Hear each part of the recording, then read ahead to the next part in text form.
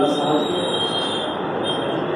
जनाब अब्दुल रशीद साहब अक्सर मसूद साहब और हमारे मंदिर के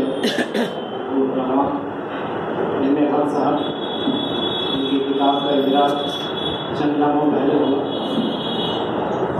रांची में हक साहब के साथ रहने का शर्फ हासिल है और इन्होंने हमें एक ज़िम्मेदारी दी है आलमी हमारे तबलीग का रिसाला है इसका इन्होंने हमें लीड बनाया और हमारे कमज़ोर कानों पर ज़िम्मेदारी दी कि हम कुछ रिसाले के मुँह पर दुरुस्त करें।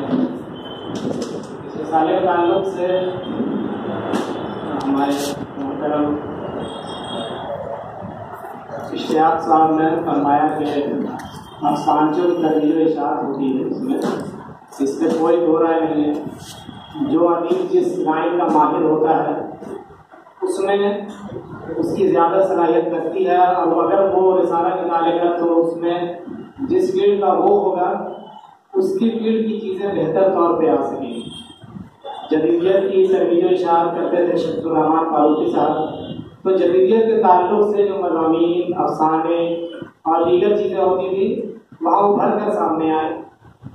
और अगर कोई शायर रिसाला निकालेगा तो वहाँ शेरी मैार को ज़्यादा तवज्जो से देखा जाएगा।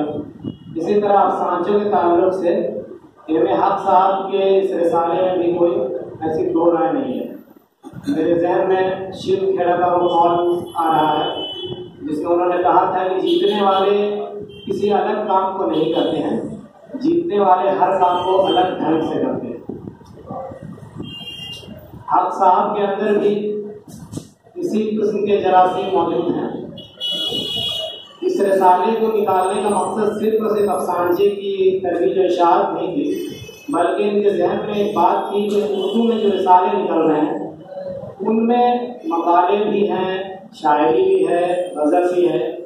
लेकिन क्या उससे हमारे उर्दू के कारी बढ़ रहे हैं? उर्दू पढ़ने वालों की रगबत बढ़ रही है। क्या उर्दू में लिखने वाले उस रिसाले से बढ़ रहे हैं? इसके तहत उन्होंने बहुत गौर फ़िक्र किया, सोचा, विचारा। उसके बाद कई तरह के कॉन्सेप्ट के साथ सामने आए।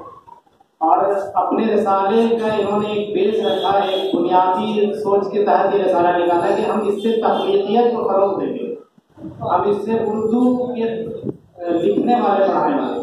कुछ नाते जिससे आगे बढ़ेंगे, कुछ शायर बढ़ेंगे, कुछ अफसानचे निगार बढ़ेंगे। तो ये तकलीफियत को फरोग देने के लिए उन्होंने किया? इन्होंने यूनिक कॉन्सेप्ट लाया कि कहानी है अधूरी आप है।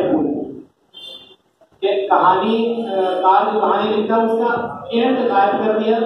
और अब खालीन से कहा कि आप इस कहानी का एंड ठीक लाइए, हम आपको इनाम सरवा देंगे। जो इनाम, जो एंड अगर लिखने वाले को पसंद आ जाएगी मिसाल के तौर पर किसी अफसाना निगाह ने अफसाना भेजा है, उसको जो एंड पसंद आ जाएगा तो उसको आप खाने कोई इनाम मिलेगा।